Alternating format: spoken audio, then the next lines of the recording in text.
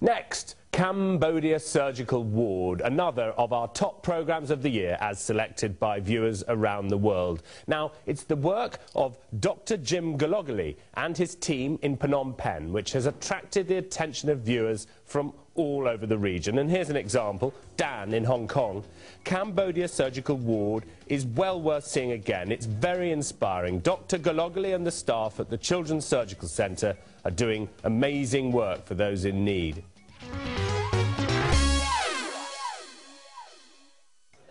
Okay, in the other set, there's a big, wide osteotome, a one and a half inch or something, in one of the sets. Could we get it out today?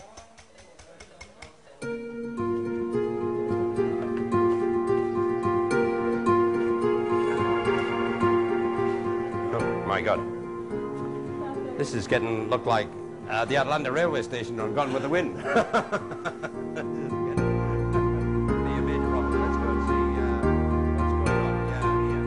turn up in the morning and it looks like a mob scene and something out of Gandhi, right? and you think, how are we going to get through all this work? What, what on earth is going on? and so it's, it's quite a deal.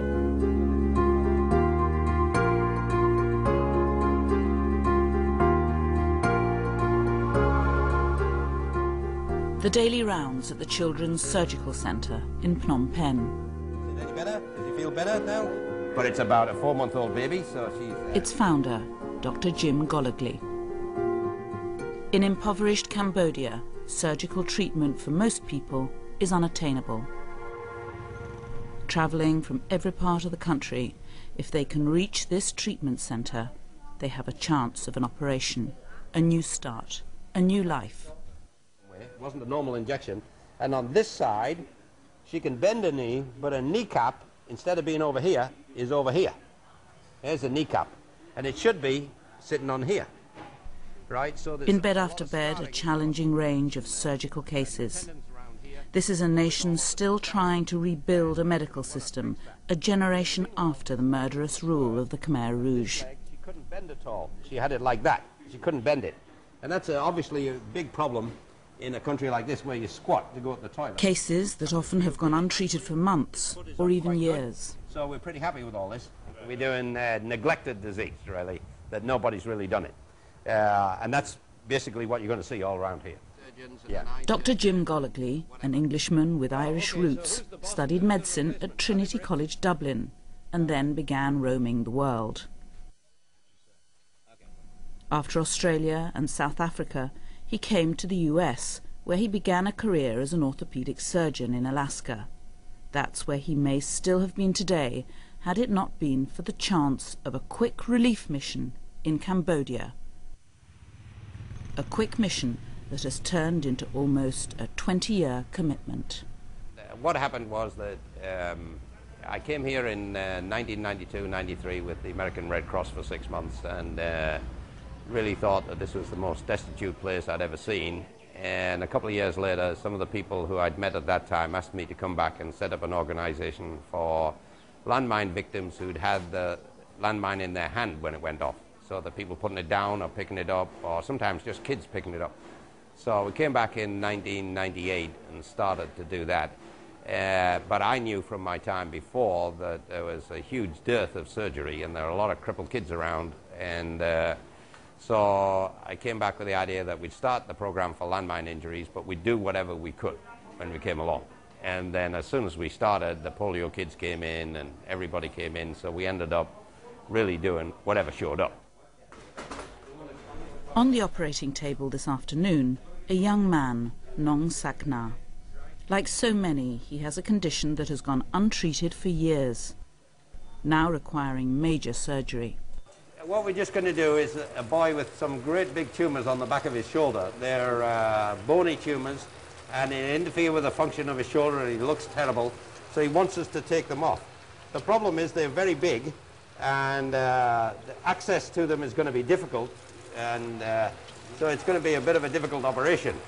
Uh, it's certainly not something that we do commonly, a big one like this. And, and he's got them on his scapula and on the back of his humerus and I'm anticipating a little bit of trouble. you can't. You're going to to get back the nerve. somehow, right? Yeah, I think that we're going to have to reflect it here. So I think the deltoid... In a country of such primitive medical resources, as news of the centre has spread, it has found itself dealing with more and more complicated cases from people with nowhere else to go. to make, right? I mean, you know, basically the deal is here, you can't just wait for another specialist to come along, because you're the specialist, right? Um, it's a big problem, right? No, no, no, it's a big problem, right? Okay, let's stop the bleeding as we, all right, go on, going right down through the fat, right down to the muscle. Let's, yeah.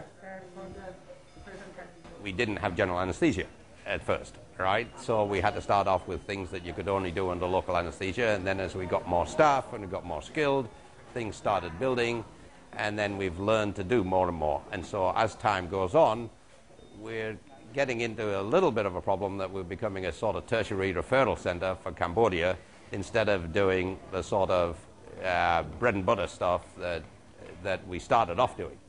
You're getting into uh, the bottom, that's teres minor and teres major. You don't, if you're going to divide, no, no, no, no. No, you should be really dividing this down here so that you can strip it forward if you need to. Right, but there it is.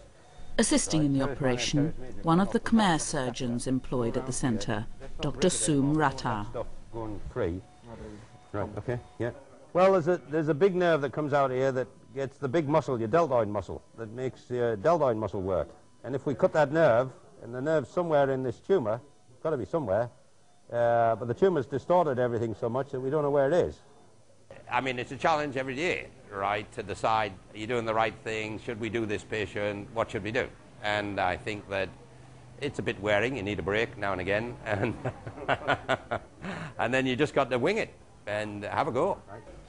The aim is for the local team eventually to become proficient in the kind of surgery Cambodia needs. So you're going to need an incise up here, right? Right? And then, yeah, yeah, but uh, which muscle is it, number one? Which muscle is it? I think, look, we've got to start chiseling it off. Okay, give me that one. Right. Okay, I'll start at this end, and then you can start at that end. Working from both directions with chisels, eventually the largest of the tumours comes free. Big swab, big swab. Here. It's a boy. It's a boy, yes. right over there.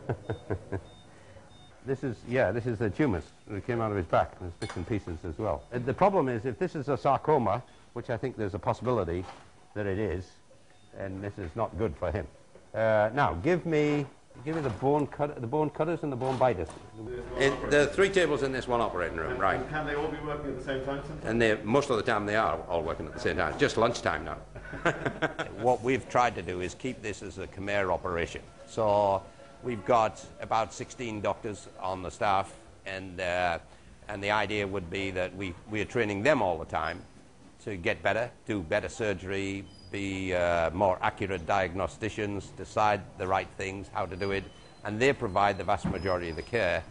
So if you could explain to him, right, so he can learn, that would be great. Yeah? Is that okay with you? Yes. You know, so if you could work with Dr. Rata, right, right? Yes. He speaks English a little better than Dr. Money, and he talks a bit more. So it'd be easier for you to learn, right? Yes. Okay, Rata? Yeah, all right. Then they get training either from me, who's here all the time, or the foreigners who come in and who visit, and they will give you two weeks of their time and effort and show you how to do some things, and then gradually the Khmer's learn to do it, and, and then it becomes available in Khmer society without the foreigners. Oh, it's been an extraordinary change here in Cambodia. Yes, absolutely extraordinary. I mean, the way that uh, when I came, there were no working traffic lights. The, uh, there were some white Land Cruisers belonging to the UN, and apart from that, a few little old Russian vehicles, and then everybody was walking or at the most had a bicycle. Just as Cambodia has developed, the medical services available here are undergoing dramatic change.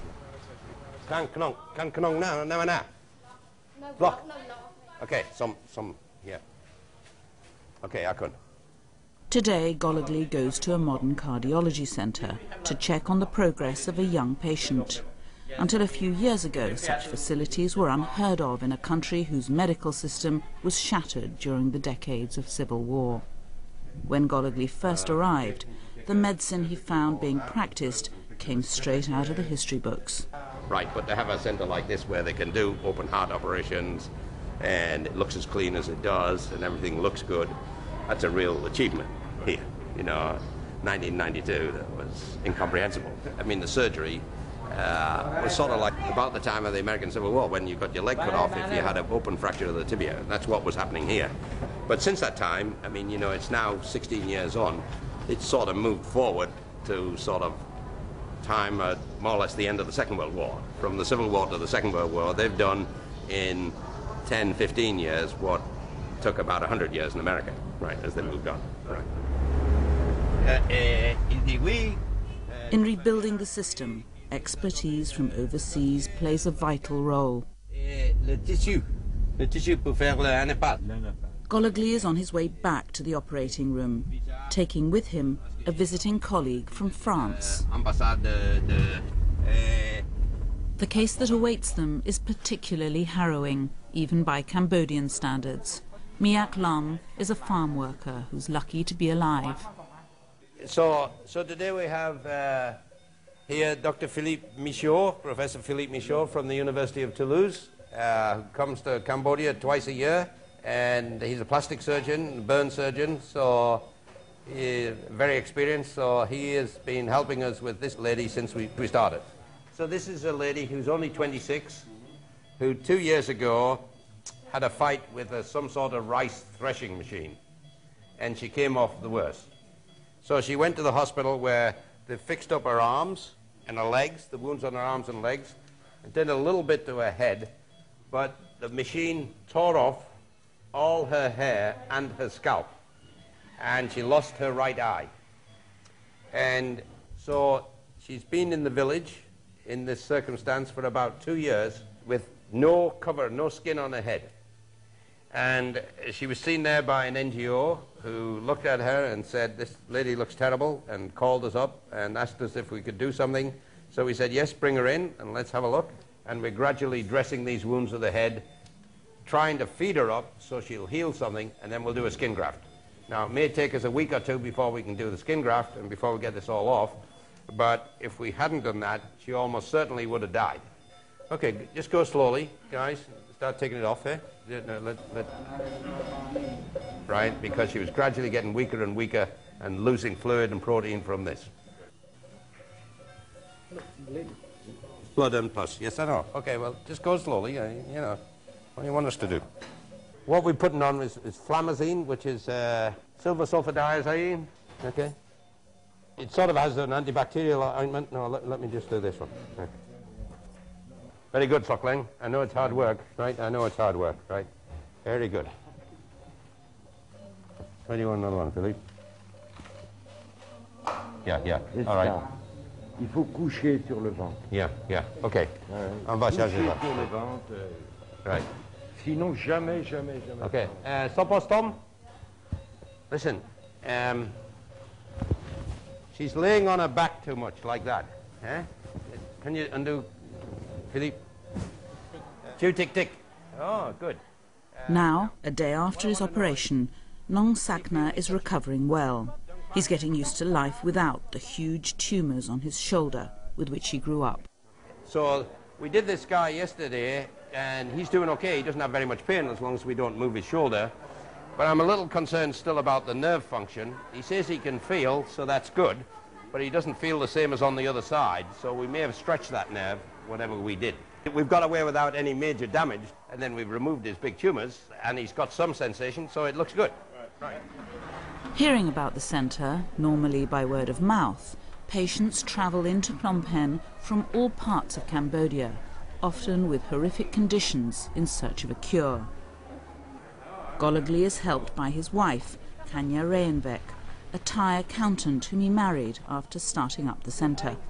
Oh, well, uh, basically, Kanya's my wife. She came along, started working for us as a volunteer. I was divorced. I subsequently married her. It is the typical story, Rob. This is the guy that went into the government hospital and then pay as much as he could and then spend all the money. And then right now, no money. The hospital doesn't want to keep them, so kick them out. You go, go wherever. Kanya has a particularly important job today, caring for 20-year-old Long Pross, about to undergo an operation to implant an artificial eye.